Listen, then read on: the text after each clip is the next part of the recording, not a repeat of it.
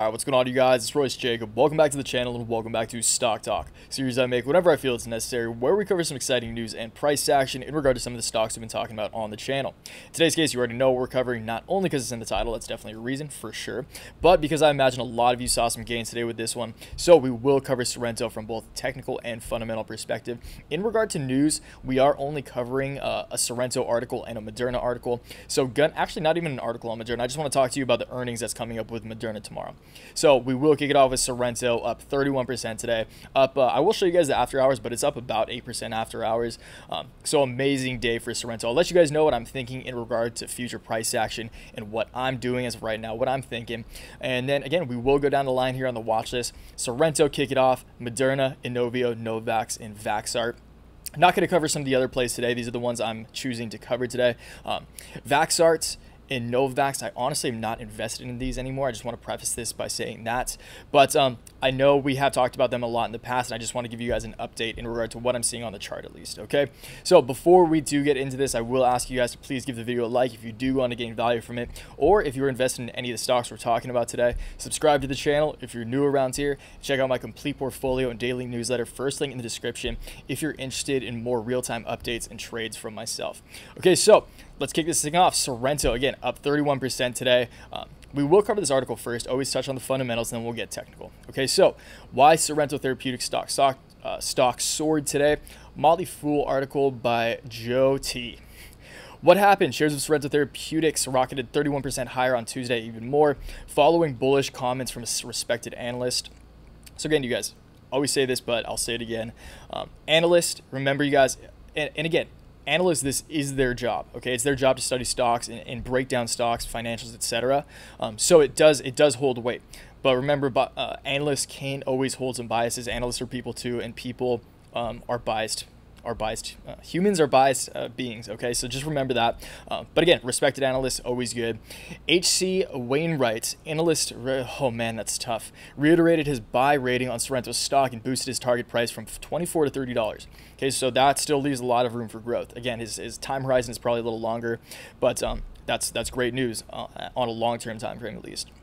His new target represents potential gains for investors of more than 133% based on Tuesday's closing price of $12.84. Um, S said that he's intrigued by the potential of a new uh, a new rapid diagnostic test that Sorrento recently licensed from Columbia University that that can reportedly detect SARS-CoV-2 virus in as little as 30 minutes using saliva samples rather than unpleasant nasal swabs. Get you guys, I have taken the nasal swab test. It is awful. Okay, so for that reason, I I uh, from a matter of principle, back Sorrento fundamentally that much more. That test sucks, you guys. Let me know down in the comments if any of you have taken it so we can just cry about it together. Okay, so uh, S also appreciates uh, that Columbia's test, the COVID trace, requires no specialized laboratory equipment, which should make it easy to use in a variety of settings. We believe that the incentive to facilitate the large-scale and uh, indeed ubiquitous deployment of the COVID trace test is extremely high, and governments worldwide may seek to implement this in their respective regions. Okay, so again, you guys, we've been talking about this a lot. We have covered this more specifically, but COVID Trace is if, if Sorrento can successfully execute on this test kit, that's absolutely huge. Okay, so remember they're also working on they're working on a test kit and a treatment. Okay, so uh, unlike the vaccine companies, which are all the other stocks we're covering today, uh, Sorrento is taking a multi-pronged approach, and that's why I've liked Sorrento from the beginning for the past few months. That's why we've been talking about it so much, is because Sorrento is taking the the multi-pronged approach. Okay, they're taking multiple different stabs at this problem that is COVID. Okay, so again, they're not really competing for the vaccine. They're, they, I think they're trying to develop something, but it's that's uh, that's irrelevant in my mind, uh, at, least my, personally for me. Um, but the, the test kits and the treatments is more realistic, especially on a short-term time horizon. On a short-term basis, um, it's very likely that these will be established prior to a vaccine. Although the vaccines are coming quick, is like faster than ever historically, at least. Uh, at least that's uh, allegedly the case. But I mean, test kits, treatments, it just makes more sense intuitively that these would come prior to a vaccine. So that's why I'm super fundamentally bullish on Sorrento. Let's get into the technicals. So again, you guys, if you've been keeping up, you, I've been preaching the Sorrento 14 for the past couple weeks now. I think. Um, I mean, time is flying right now. We're we've been we've been on a roll lately. Super grateful for for just the role we've been on lately. So congrats to you guys if uh, you've been here with me. It feels really good to share these experiences with you guys, especially days like like three for three on the Sunday stock watch this week. So it feels good. Uh, I do want to re- remind you guys that I've been wrong many times in the past. Um, again, been on fire lately. You do see these times like these, but uh, I want you guys to remember and remember this about any any person you ever watch, and even about yourself if you're ever feeling cocky, because it's easy to feel cocky when you're um, when you're on a hot streak. But just keep in mind, you guys, I've been wrong. Stay humble and um, just stay objective. Try to stay rational. Do your best to stay rational, even if you're stoked. Obviously, celebrate, but uh, do your best to stay rational and uh, don't get cocky and, and stay as humble as you possibly can. Okay, even though it might be hard. All right, so again, Preach preaching Sorrento, fourteen dollars for a while. We will here. I want to show you guys the. Um, damn it, my face is right in the way. Hold on, let me move my face real quick. All right, so I do want to show you guys the after hours, extended hours trading and then I'll move myself down there. Probably gonna have to take that away after. So let's move back down there. Okay, so extended hours trading, you can see that extended hours trading, we actually came up and almost touched like almost exactly the line that I've had drawn for again a couple weeks now, almost at $14. I believe Sorrento closed it's like at 1385 or something right now. I wish I don't know why it's not showing right here. Sorry about that. But it's at about like 1385 again or 1384. Sorry, right it says right there. Duh. But again, almost touching that $14 line. So hashtag Sorrento 14 is really coming to fruition. Um, I will be honest with you guys today. So today, I'll zoom in a little bit here. So let's zoom into like the five minutes. I'll show you guys kind of what I did today, just to uh, just to show you guys an example of how I kind of approach days like today. Okay, so um, this was and again, you guys always remember around. I'm putting this in Hawaii time, so I'm sorry you guys are gonna have to gauge that in whatever time, uh, whatever time zone you're in. I use Hawaii time, so around around this time, around like 7:30 to 8:30 uh, Hawaii time. Again, it, it fluctuates a little bit. It was 8:30 in this in this situation, but just an hour and a half hour and a half, two hours prior to market close is easy, way easier. That's how I should have said it initially. So hour and a half, two hours prior to market close, you always see uh, either a pullback or a significant move up uh, depending on whether the stock is trending significantly up or down. So if it's going significantly up, like Sorrento, it's likely that you'll see a dip around that time. Again, you guys, it doesn't happen every time, but it happens enough for me to feel confident telling you guys this. All right, so that's when I usually do trades if I ever do day trades. It's rare that I day trade, but I, I just saw the opportunity here. So I did sell a decent amount around this area. I knew it was going to pull back because, uh, again, you guys, it, it, it's very likely that it, it will do this if you see a significant price action like this. So pulled back. I did pick up a few more shares, probably around like the 1150 region. So didn't catch the bottom, but still gained. And um, I do want to let you guys know I took some solid profits off Sorrento today. Um, this could have been a terrible play on my part. I still gained. I still had a very solid day today. Very thankful. But um, the fact that it's up almost 10% after hours could mean that it's going to have a solid day tomorrow. And uh, I might I might have messed up there, but you guys, that's all right. That's the game. That's that's just how it crumbles sometimes. But uh, the reason I did that is because I still believe that we'll see a dip in Sorrento, especially even honestly because we saw this move up after hours. Um, so you see this after hours movement, and again, I I wouldn't be surprised at all to see it just because this is the line of uh, this has been the line of resistance. This has been my price target for a long time now. So uh, we will see if uh, if I'm correct here. If we do see a pullback once it touches $14. Again, the fundamentals are so strong with Sorrento right now. You see a lot of volume here. Um, fundamentals are strong. So it could very well continue ripping, and the after hours price action could be a testament to that. But I, um, I'm personally thinking that we'll probably see a pullback. It wouldn't surprise me to see a pullback down to this this like the 1250 region almost. It spent a lot of time around here um, just a few days ago before this. actually, no, no, no, sorry. Just this is crazy that this is today. Okay, so I wouldn't be surprised if we see a pullback at least to to this region, and uh, if that happens, I'll definitely pick up some more shares. Um, if we zoom out a little bit, okay, let's let's zoom out to, to a longer time horizon just to get some scale of this. Let's definitely, okay, I told you guys I would have to turn this back off. Okay, so let's, sorry, boom. Let's take that off because that looks irritating. Okay, so let's zoom in a little more here, or not zoom in, zoom out a little more here. So again, it's it's uh the 14 again this this went way quicker than i thought. I didn't think it would pop this fast but again that analyst uh, that analyst rating that analyst take did skyrocket the stock from a fundamental perspective. Fundamentals great fundamentals always wipe out technicals technicals. You guys always remember that. I've, I, I do say this all the time but I'll do like 70 30 80 20 most of the time fundamentals to technicals okay? But technicals do, do still play a role in my mind so um, again, they're they're important to look at in this market too. There's a lot of traders in this market, so it does it might be more 70-30 right now in this current market. But anyway, been following this a lot, like again, this huge, this just huge upward pattern. All right, and it broke straight out of, of this upward line of, uh, of support. So it would also make sense to see it start to use this trend in a sense as kind of a point of of support. So we'll see if it does use this trend line as a point of support. Um, it did bounce off it right there uh, just at some point today. So it is it is kind of shaping up to look like it will use this uh, this line as a line of support. So again, if it pulls back to 1250 again, I will definitely be picking up more shares. Um, on on the greater scale, it would it would also kind of make sense if it does continue to pull back. We'll have to see how Moderna's earnings go tomorrow because I think that will uh, definitely definitely kind of dictates some sense of consumers or investor sentiment in the morning. So we'll have to see how Moderna's earnings play out because um, again, that will just kind of dictate price action for the sector, in my opinion, at least. I think that'll definitely rub off at least a little bit. So if if it does choose to pull back significantly, I to be surprised to see it as well come down to this area where we did see it test down. It makes sense that it bounced bounced off right here, um, right around like the 1060 level yesterday right around the point where it set this previous high at the at the very end of July on July 31st. So we might see a retest back down to that area. It does also coincide uh, with the 21 EMA as well. So that wouldn't completely surprise me. If that happens, I will definitely be picking up more if it drops. Um, to be honest, if it drops below $11, I'm for, I'm picking up. I'm, I'm definitely securing a big old bag after that. So that could very well happen again. It's, it's I, I do think the Moderna's earnings will play a factor in this, and we've seen such a run up. It did touch it just touched fourteen dollars, which was my price target. Um, and if we do like Mara, which we've been talking about a lot, if we see the same thing happen with what Mara happened today, because Mara pulled back, and again, you guys, it's just kind of translating the same psychological patterns throughout bubbly stocks like this. Okay, so through hype stocks, hot stocks, um, you see a big move up. We've been waiting for the breakout. Finally breaks out.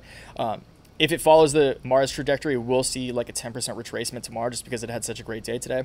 If that happens, definitely picking up more, but I do believe we could, we will probably see a retracement at some point in the next few days. Could be completely wrong here, but um, that is what I'm betting on. And again, if we do see uh, like 10, 15, 20, definitely 20% retracement, I'm, I'm securing it back. Okay, so we'll call it there with Sorrento long term. You guys, I mean, uh, long term i don't even long term is is i would agree with the guy like 30 to 40 bucks per share is not is not out of uh is not out of the cards for for me at all especially considering the fundamentals are so strong so i definitely think we could uh, over the course of the year definitely see a, a 30 to 40 dollar sorrento okay so Long term, very bullish. Short term, think we can see a pullback. We'll pick up more if that's the case. Let's move on. Sarah was talking about that for a long time. Very excited about that one though. We've been, I mean, I'm so happy to finally see Sorrento break out. They've been, they deserve it, man. Okay, so Moderna is is just been capitulating. It's just been going sideways for so long now. Okay, so let's zoom out to look at this real. I mean, these I've had these lines drawn for so freaking long now. So Moderna is still just following this upward, this nice upward tra like trajectory. So it's still bouncing around this area, this kind of middle line of resistance, which it is uh, using as resistance and this lower line of support. So I, I really am confident in the fact that it, it it, it's very unlikely. Even if tomorrow's earnings aren't that good, I doubt it'll break down this line of support. But um, I do want to talk to you guys about Moderna's earnings, which are tomorrow morning. Um, they're coming up very soon, so keep an eye out for that. But I want to show you guys just quickly their previous earnings, just to use uh, some historical data as a, as a frame of reference. Okay, so you can see here, uh, this is this light. Okay, so this what I want to establish right off the bat here. Sorry, I'm trying to think about how to uh, articulate this. What you see right off the bat here, these darker lines are analyst estimates. Okay, so that's expected earnings per share and then this light kind of teal tealy line is is their actual earnings per share per share. And you can see this is all negative. Okay, so Moderna is not profitable. That's something very important to establish. Which, uh, uh, unfortunately, again, I've, I've ripped on this a lot. Financials don't matter all that much in this current market. Okay, that's just the reality. I don't agree with it. I don't disagree with it. You just have to adapt, and that's the reality of the current markets. Financials don't matter much. What matters is progress as a company and future potential. Okay. So obviously, Moderna, the leader in uh, developing COVID vaccine, they're initiating phase three. Allegedly, they could uh, release data on that in regard to that as soon as October. So very soon there. Um, but what I see here, and we'll, we'll move down here. Okay, so you can see uh, consensus EPS forecast. So this is analyst estimates. This is uh, like what uh, what analysts estimate to be their earnings per share, and then their actual earnings per share. So each time they've they beat. So over the past year, you see a five percent uh, surprise, a thirteen percent, a fourteen percent surprise, fourteen percent. That's pretty impressive that they beat it ex- the exact same amount twice in a row. I mean, I guess it's the same thing, so it's not that surprising. And then a two percent beat. All right, so. Um, just just very general trend spotting right here you see that they do beat estimates. Okay, and that's really what matters in this current market as far as earnings are concerned. That's what I've uh, we've seen a lot of earnings recently. That's my primary takeaway from earnings is as long as you exceed estimates and you're making progress fundamentally as a company, which Moderna obviously is, then it's likely that you'll probably see some price appreciation in your stock. Okay, so um, again, just following the trend. This is a very easy trend to spot. It would make sense that Moderna exceeds analyst expectations just because that's what they've done the past four quarters. Okay, and again, huge grant from huge grant from the U.S. government. They have FDA fast track. They have Operation Warp Speed. All that good stuff. They're phase three. Um, and again, I think Moderna is just waiting to break out. Like you can see it capitulating. Like it, it's. I, I highly doubt the fact that again it'll break below, below this line of support. Even if they disappoint, on earnings. I doubt they'll break below the $70 level. So, worst case, I think there's definitely asymmetric potential here with Moderna. And you guys know I always preach asymmetric risks and as- asymmetric positions. So, I definitely think we could see a bounce off this line at, at like at the worst case scenario, 70 bucks. It might bounce off there and then um, probably just bounce around here if they disappoint. But best case scenario, they press. Uh, I think we could come up uh, to, to the $90 region and uh, probably retest this middle line of resistance. Maybe come up to $90, maybe bounce around there. And then, again, if they really impress, uh, likely what will be the catalyst for for a move back up to this very top line of resistance, which would bring it up to like 120 $130 region, would be the that um well what the heck the, the phase three the, the phase three results okay so phase three results come in the next month or so a couple months that could definitely take us to 120 plus dollars um, or even great earnings tomorrow. If we can break above this line of resistance and start using it as support, then I think we could keep uh, just uh, slowly, organically climb our way back to this top line of resistance. But I'm honestly confident that at some point um, over the coming months, we will once again retest this top line of resistance. Okay. So that said, let's move on to Inovio. I'm just going to go real quick on these guys. You guys, I haven't even looked at these charts. I am invested a little bit. I have a small position in Inovio right now just because. Um, just to kind of hedge across the sector. You guys know I always say that as well. Um, very small position in Novio. Honestly, not keeping track of it just because I'm waiting for them to drop some news. Just because I do believe uh, that they it, they definitely have the potential to drop some good news recently. So they Novio is below all like all lines of support that I've drawn in the past, which is a very bad sign. But Novio is also bouncing. If we zoom in here, um, it is just spending a lot of time around this area that it broke broke down to at the beginning of July after that huge rally that it had. So that's a good sign. Again, I it would it, it doesn't make sense to me personally for Inovio to to go lower than this. The, the the problem with this is you're seeing kind of uh you're seeing kind of a descending triangle pattern drawn here, which is uh, which is worrisome. So you can kind of see that playing out right now. That's usually bearish. But again, it just doesn't fundamentally make sense. And again, it, we will have to see this is the important thing as well that I should have said earlier. If Moderna does well and, and skyrockets, we're going to have to see, and I, I don't know this, we're just going to have to find out. If Moderna impresses, then will that send will that uh, send the rest of the sector up or down? Okay, and that's uh, again, you guys, I can't tell you that. My hunch is shit. I really don't. I can't confidently say anything because I really don't know. We will have to see, but keep an eye on that. Whether Moderna's, if they if they do happen to impress, um, then will it Inovio, Novavax, Vaxart, will these companies see a gain just because people are like, okay, the vaccine sector is hot again. I want a piece of it, and I want an underpriced asset that has the potential to go up. So you got to think about it psychologically. Obviously, obviously, Moderna is fundamentally in the lead, but just from a psychological perspective, will people want a piece of the vaccine sector, and will it put attention on the vaccine sector, causing these other stocks again that are guilty by association to go up, or will people like uh, be like Moderna's the obvious winner? I don't even want a piece of these stocks. Okay, so those are the two. Uh, trains of thought that you have to keep an eye on, and that is a reason that tomorrow for this sector is going to be a very uh, is going to be somewhat of a day of reckoning, um, or or just a, a very uh, det- determinate day in that sense. Okay, so keep an eye out for that. Um, Inovio again is looking. I can't see it going much lower than than like 19 18 19 dollars but uh, again we'll really have to see how tomorrow plays out so novavax is floating around 157 novavax is still freaking following this upward trend line, which is crazy. So Novavax is just holding on super strong. Um, again, you guys, I'm personally not invested in Novavax right now just because I, have been expecting them to pull back at least a little bit, but they are so like this is probably the most textbook like following of of, a, of an upward trend that I've ever seen just using these lines of support and resistance. So again, if you you can just extend this, any of you can draw this on any charts that you have. So I'll just extend that. So uh, again, we'll have to see. Maybe if Moderna impresses, Novavax could tank. If it breaks down this uh, line of support, we will probably see a significant. I would, I'd guess we will see a significant correction if it does break this line of support around this area where it set uh, some highs in in July around $110. So if it does break this line, I, that's where I would expect to see a correction to. If it does uh, pull back to there, I would maybe uh, consider establishing a long position again. But I can see it.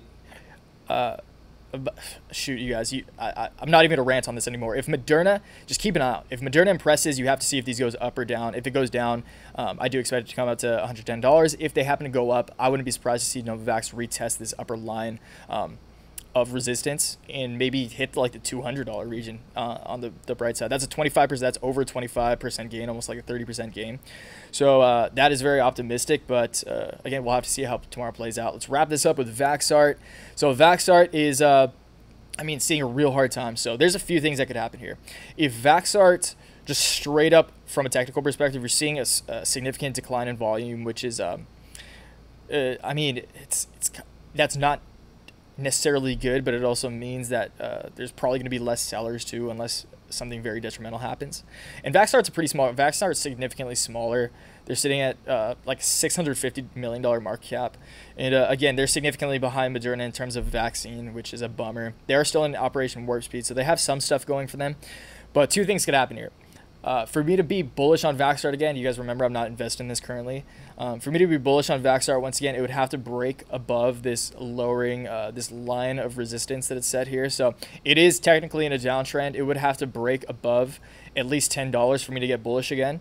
Um, but worst case scenario here is you see kind of a head and shoulders pattern picking up. Okay, so you see your left shoulder, you see the head. If it starts to capitulate and just goes sideways, um, that would worry me in the sense that we could see a full complete head and shoulders pattern play out and it could just completely crash back down to like three two three bucks.